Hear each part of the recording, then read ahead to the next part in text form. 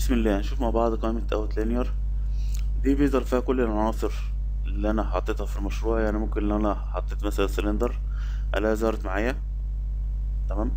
وأقدر إن أنا أدوس علامة الزائد وأشوف إيه الخصائص اللي موجودة تحتيها. يعني ال cone مثلا ده مديله أنا material فظهر معايا ال م- ال material بتاعته هي موجودة جواه. تعالى ندي مثلا ال cube دوت نديله آه، أي آه، material.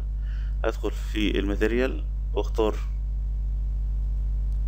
material معين وأرجع لل cube علامة الزائد.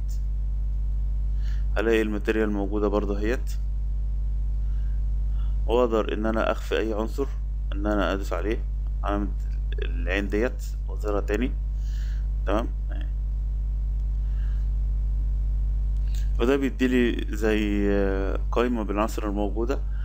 أقدر أخفي أي عنصر.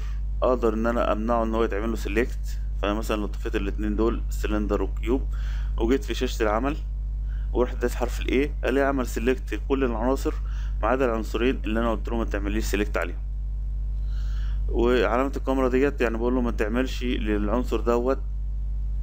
آه لما أجي أعمل render ما تخلوش يظهر معاك في ال render أنا مش محت... مش عايزه دلوقتي في ال render دوت. تمام؟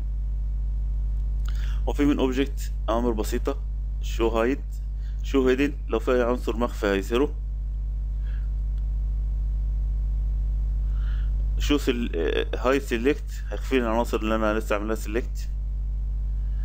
hide unselect يعني أكون معلم على عنصر معين وأقول له hide unselect. يخفي كل العناصر التانية ما عدا العنصر دوت يعني كأني بقول له اعمل لي ايزوليت